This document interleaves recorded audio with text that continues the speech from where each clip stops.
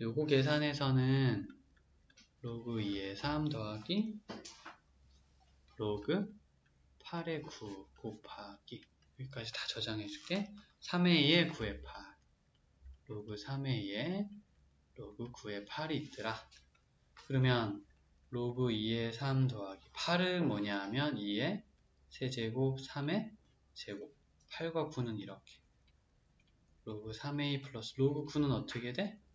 3의 제곱 이거는 2의 세제곱이 돼요 그럼 혹시 기억나나? 여기 초록색 위에 있는 두 개 있지?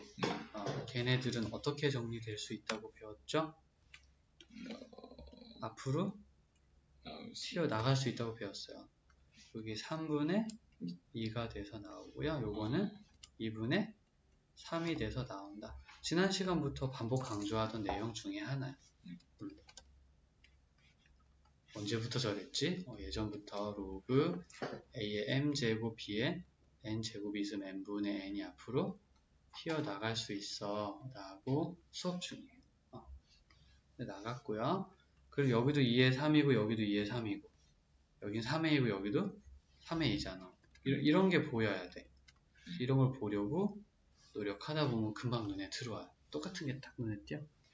그리고 앞에 있는 1이라는 숫자와 3분의 1을 더해주면 되는 거예요. 여기도 1과 2분의 3을 더해서 2분의 5라고 생각하면 되는 겁니다.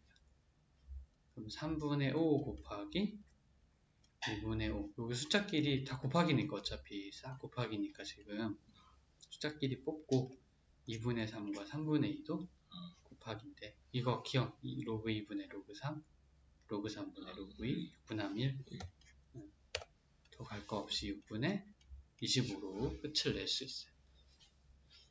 어, 좀 복잡했나? 아니 내용은 이해했는데 아, 그래? 그럼 이제 안 보고 할 수 있을 때까지 도전하고 들어보고 다시 또 안 보고 도전하고 들어보고 이 프로세스를 좀 한번 반복해 보고요. 자, 그 다음으로 이런 거 있죠. 음. 기왕 시작